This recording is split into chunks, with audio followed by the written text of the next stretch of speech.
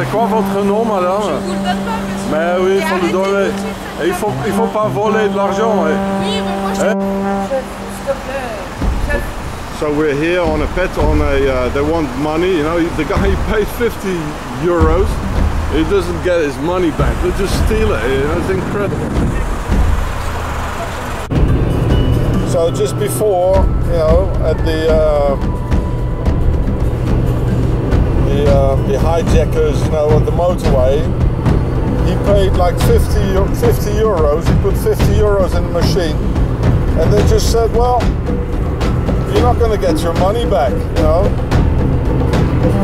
Uh, we owe you 45, uh, 60 because it was 440 to pay. And they just said, well, we're not going to give you your money back. It's ours, you know. It's gone.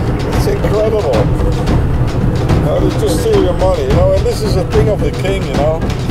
It's the aristocracy because it's like in the Middle Ages. The road has been paid, here's the motorway, it has been paid like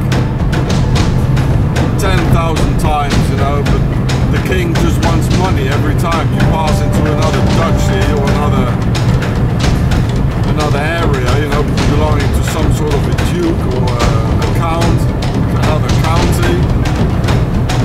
time they want money, like in the Middle Ages, you know, give me a pig and you leave me a woman and give me a couple of bottles of wine, otherwise you won't pass.